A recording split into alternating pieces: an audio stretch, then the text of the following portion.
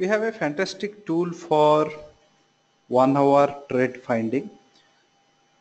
Any instrument like equity future or commodity if you have its past one hours price info using those info you can calculate its trend for the remaining part of the trading cycle. So here minimum one hours data is required. So past one hours info if you can give then it can calculate the trend for that particular instrument. So it is developed using a specific concept of Fibonacci and we have taken the candle gap principle along with that. So to give it a good value in that uh, method. So this one hours info what you required we have given a clear instruction here. You need the past one hours high, low and last traded price to input here and once you input all those price info and just hit the calculate button you can get the trend. So this is being developed using as I said using the dynamic Fibonacci concept and candle gap principle. So how the Fibonacci dynamic concept works, we have given a fantastic ebook here. You can just download that ebook and read that concept of Fibonacci dynamic concept. So here I am just going to show you how it works. So I am just going to take the Nifty future 4th July 2016 data and here the as the data suggests I need the first one hour. So first one hour high and low high and low. Along with that what price it is trading at the end of one hour that is also I need. So for that I've just opened off this NSE real-time chart. So which is available in this NSE website under live analysis chart option. So from here I have taken so 915 to 1015 I will be taking 915 to 1015 so this is the level I have taken. Here is a downtrend. So low it has given 8387 however in the opening itself there is a low which is much lower than that. 8385 is the low. And during this particular period of 915 to 1015 1015 so 9.15 to 10.15 time. So we have got that there is a high happened around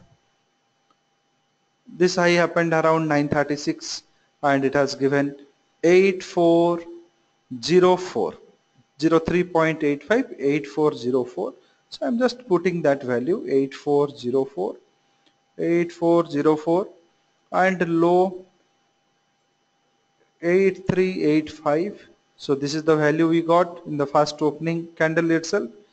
And at at 1015 so one hour time we have taken at 1015 the closing is 8395.55 8395.55 and I'll just hit the calculate button.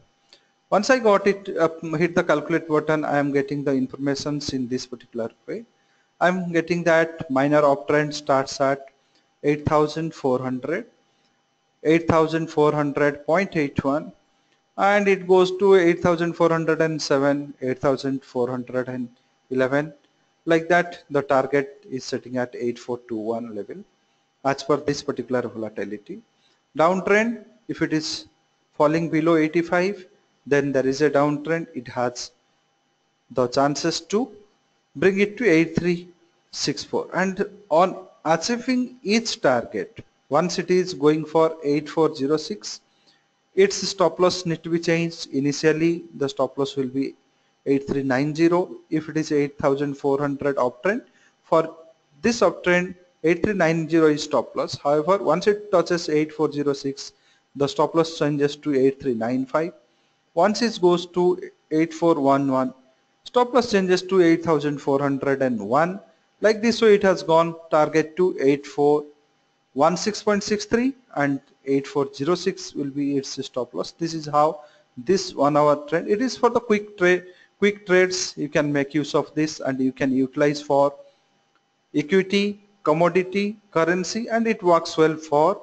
international commodity. So this is the calculations we have done. So what happens during this particular process if you see the DSI is 8415 8415 it has given around 1220 and 1220 if you match it 8415 just you have one point below our second target. Only one hour's data you have taken and one point below the second target. If you see the day's low which has happened which has happened during the uh, 1 o'clock 43 minute. So day's low is 8376 8376 you have 8376 so here the target 2 also 837 4.51 5 8375 from there there is a retracement happen so this is a highly effective tool and it is only with the trailing one hours data you can able to project for the remaining trading hours trend using this particular principle.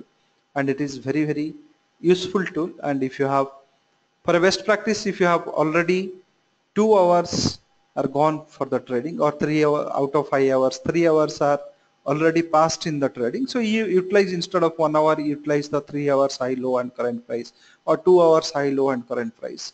That also will work on this. So so if you can utilize at the end of day what is the high low and current price also you can get some picture of trend confirmation for the next day.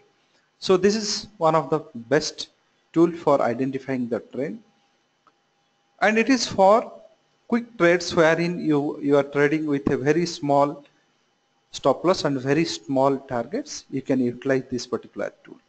And this is a very very effective tool for the currency traders. Those who are international currency traders for them it is highly useful